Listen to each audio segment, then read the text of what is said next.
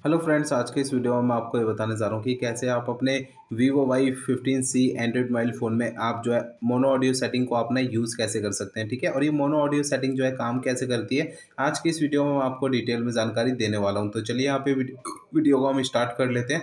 सबसे पहले तो आपको अपने मोबाइल फ़ोन में सेटिंग पेज ओपन करना है, ठीक है? सेटिंग पेज को ओपन कर लीजिए अपने मोबाइल फ़ोन में। सेटिंग पेज में आपको नीचे आना है, यहाँ पर आपको ये ऑप्शन मिलेगा शॉर्टकट एंड एक्सेसिबिलिटी, इसे आपको सेलेक्ट करना है। इसके अगले पेज में आपको नीचे आना है, यहाँ पर आपको ये ऑप्शन मिलेगा एक्सेसिबिलिटी, इसे आपको सेलेक्ट करना है। अब इसके अगले पेज में आपको नीचे आना है, यहाँ पर आपको ये ऑप्शन मिल जाएगा ये ऑडियो एडजस्टमेंट का, इसे सेलेक्ट करना है। अब इसके अगले पेज में आपको मोनो ऑडियो का ऑप्शन मिल जाएगा। इसके सामने वाले बटन को ऑन कर लेना है, ठीक है? अब यहाँ पर आपको ऑडियो बैलेंस का ये ऑप्शन दे रखा है। इसके नीचे लेफ़्ट और राइट दे रखा है। इसको आपको ध्यान में रखना है, ठीक है? तो यहाँ पर मैं आपको एक चीज़ दिखाने वाला हूँ। यहाँ पर चीज़ क्या मतलब मेरे पास ये ईयरफोन्स है, मेरे मोबाइल फ़ोन के। ये देखिए, वायर वाले ईयरफोन है। इस पे ईयरफोन पे देखिए, ध्यान से देखिए, यहाँ पे एल और आर लिखा हुआ है, ठीक है? तो ये एल और आर जो होता है ना, ये लेफ़्ट और राइट होता है हमारे ईयरफोन का, ठीक है? आपके ईयरफोन पे अगर नहीं लिखा है तो कोई बात नहीं, वो तब भी काम करता है, ठीक है?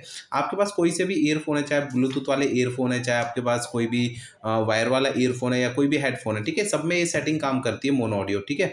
होता क्या है कि आप अपने ईयरफोन्स की ना ऑडियो को बैलेंस कर सकते हैं मोनो ऑडियो सेटिंग के ज़रिए। कैसे? देखिए, जब भी आप अपने ऑडियो वीडियो को देखते हैं सुनते हैं ना अपने ईयरफोन्स के ज़रिए अपने फ़ोन में। तो आप इस सेटिंग में आकर इस पॉइंटर को अगर आप लेफ़्ट में कर देंगे तो इससे क्या होगा, आपका जो लेफ़्ट वाला ईयरफोन होगा ना, उसमें आपको आवाज़ सुनाई देगी, लेकिन आपका जो आर वाला ईयरफोन होगा, उसमें आपकी आवाज़ बिल्कुल ही कम हो जाएगी, ठीक है? इसी तरीके से आप इस पॉइंटर को राइट में कर देंगे तो इससे क्या होगा, आपका राइट वाले ईयरफोन में आपको आवाज़ सुनाई देगी और लेफ़्ट वाले ईयरफोन में आपको बहुत ही आवाज़ कम सुनाई देगी। अगर ये पॉइंटर बीचों बीच में कर देंगे ना तो दोनों ईयरफोन्स में आपको बराबर आवाज़ सुनाई देगी, ठीक है?